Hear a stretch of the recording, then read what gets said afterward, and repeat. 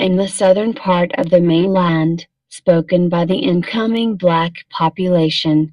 This was a consequence of the importation of African slaves to work on the sugar plantations, a practice started by the Spanish as early as 1517. From the early 17th century, ships from Europe traveled to the West African coast, where they exchanged cheap goods black slaves. The slaves were shipped in barbarous conditions to the Caribbean islands and the African coast, where they were in turn exchanged for such commodities as sugar, rum, and molasses. The ships then returned to England, completing an Atlantic triangle of journeys, and the process began again. The first 20 African slaves arrived in Virginia on a Dutch ship in 1619. By the time of the American Revolution, 1776, their numbers had grown to half a million, and there were over four million by the time slavery was abolished. At the end of the U.S. Civil War, 1865, the policy of the slave traders was to bring people of different language backgrounds together in the ships, to make it difficult for groups to plot a rebellion. The result was the growth of several pidgin forms of communication and in particular a pidgin between the slaves and the sailors, many of whom spoke English. For for the sociolinguistic situation in contemporary Canada, see Herriman and Burnaby. 1996, Chapter 7. 39 English as a global language once arrived in the Caribbean, this pidgin English continued to act means of communication between the black population and the new landowners, and among the blacks themselves.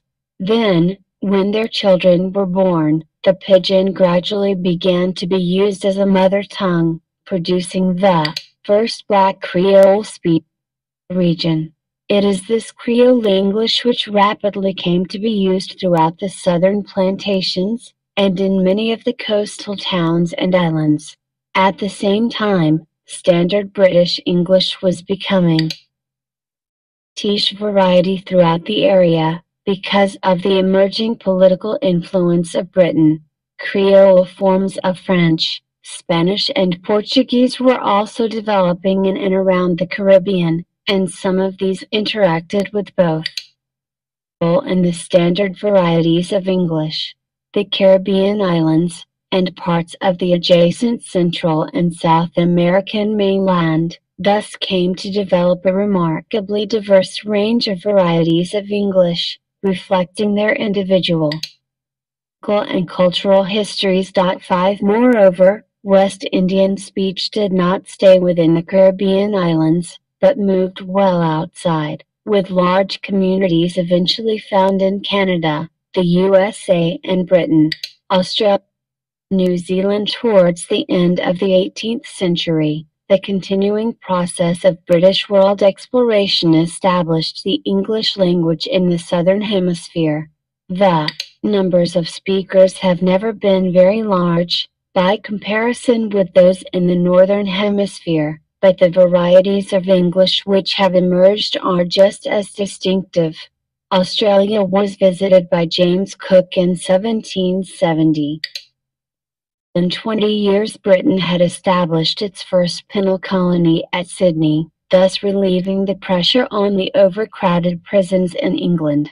About 130,000 prisoners were transported during the 50 years after the arrival of the First Fleet in 1788. Free settlers, as they five for review of issues relating to African American English, see Harrison and Trabasso. 1976. For West Indian Speech in Britain, see Sutcliffe, 1982. Why English, the historical context were called, also began to enter the country from the very beginning, but they did not achieve substantial numbers until the mid-19th century. Then on, immigration rapidly increased.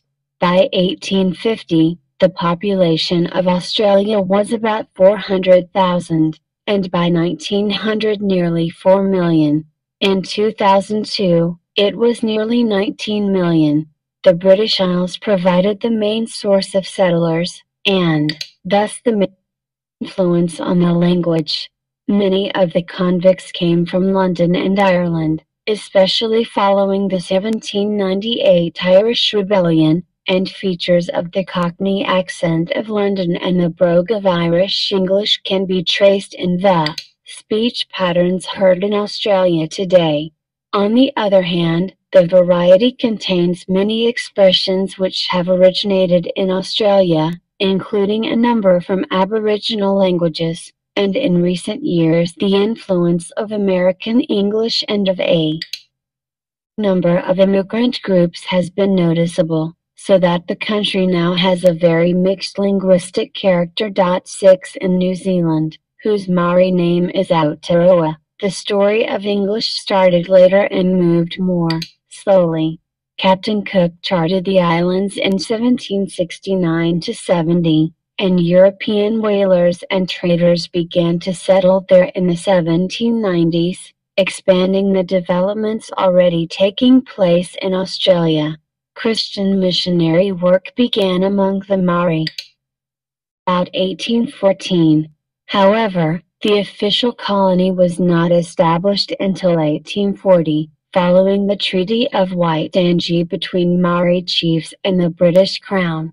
There was then a rapid increase in European immigration, from around 2000 in 1840, 5,000 by 1850, and to three quarters of a million by 1900. As early as the turn of the century visitors to the country were making comments on the emergence of a New Zealand accent. The total population in 2002 was over 3.8 million strands of New Zealand's social history in the present century have had special linguistic consequences. Firstly, in comparison with Australia, there has been a stronger sense of the historical relationship with and a greater sympathy for British values and institutions.